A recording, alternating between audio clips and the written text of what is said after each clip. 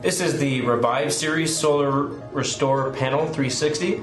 It is a solar panel that is an active charger.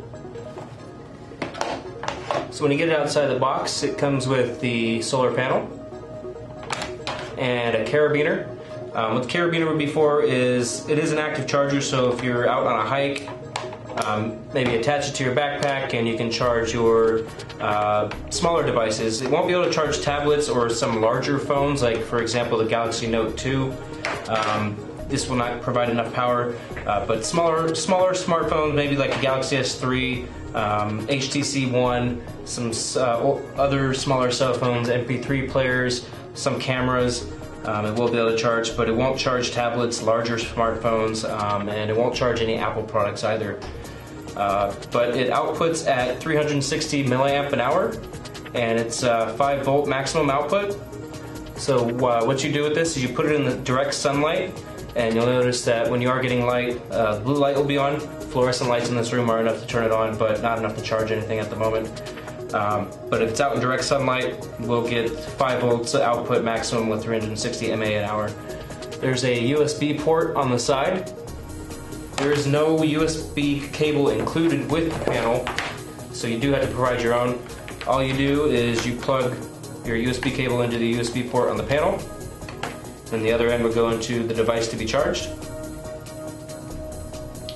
And depending on how big your battery is in your device to be charged, for example, the Galaxy S3 has a 21 mAh uh, internal battery. The Solar Restore Panel 360 will output at 360 milliamps an hour. So um, say your phone was at a 5% charge, uh, this is outputting at 360. Take 2100 divided by 360 and that's the approximate hours it will take you to recharge that, that uh, 2100 mAh battery to full. It also comes with a kickstand on the back.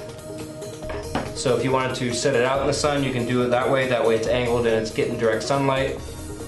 Or again, you can just uh, use the carabiner to hang it onto a backpack or a purse so that while you're walking around out in the sun hiking and you got your device plugged in, it'll charge. Um, so some possible troubleshooting tips with the Solar Restorer 360 panel.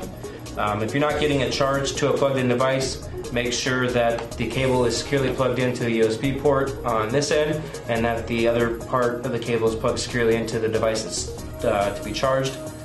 If it's still not working, make sure that that light is on. Um, blue light comes on when it's receiving power from a solar source. It's on right now, uh, but you do need direct sunlight for maximum efficiency. If that's still not working, try a different USB cable. Um, also, you know, try many different devices because as we explained earlier in the video, it won't charge Apple products, um, tablets, and larger um, smartphones, tablets, uh, the really big like five inch screen, five and a half inch screens uh, smartphones. Um, but smaller devices are okay, those should be good to go. And that is the Solar Restore 360 panel.